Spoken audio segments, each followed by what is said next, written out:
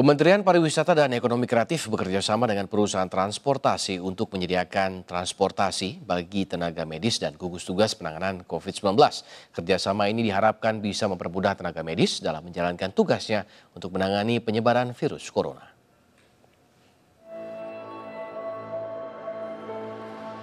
Kementerian Pariwisata dan Ekonomi Kreatif bekerjasama dengan perusahaan transportasi menyediakan transportasi bagi tenaga medis dan gugus tugas penanganan COVID-19.